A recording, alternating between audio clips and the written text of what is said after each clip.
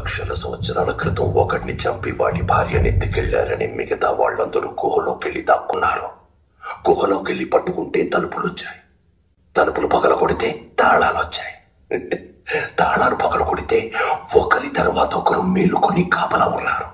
వాళ్ళందరికీ ఒక నాయకుడు వచ్చాడు ఇంత నాగరికత కారణం ఏంటి?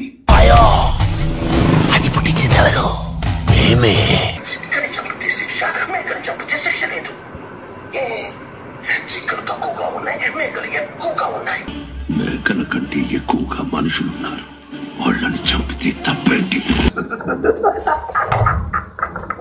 ఆ చిన్న రాయి పొడి పొడి అయిపోతుంది అందువల్ల సపోర్ట్ లేకుండా ఉన్న పెద్ద డమ్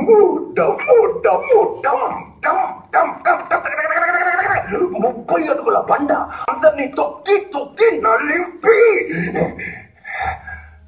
నువ్వు వచ్చేసరికి నీ ఇల్లు వీధి మొత్తం జనాలతో నిండిపోయి ఉంటుంది. నువ్వు ఏడుస్తుంటే ఆ జనాల్లో నేను కూడా నిలబడి చూస్తాను.